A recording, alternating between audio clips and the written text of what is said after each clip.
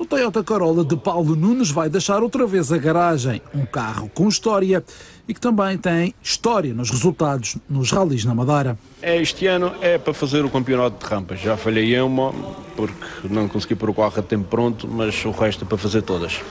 Só, neste momento, só estou a planear rampas. Porque é, um- é mais, é mais apetecível, é mais económico. Não é, o resto dos ralis é mais caro e assim este ano vai-se fazer só rampas e para o ano vai-se fazer um rally ou outro e tentar fazer o vinho madeira para o ano. Este ano não há hipótese.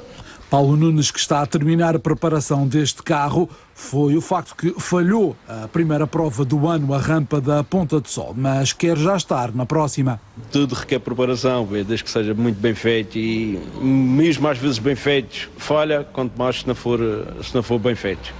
Neste, neste campeonato de rampas, o que é que lhe parece as provas, a concorrência, os outros pilotos, as outras equipas? A concorrência cada vez está mais forte e, olha, e quando a concorrência está forte a gente também tem que se juntar a eles.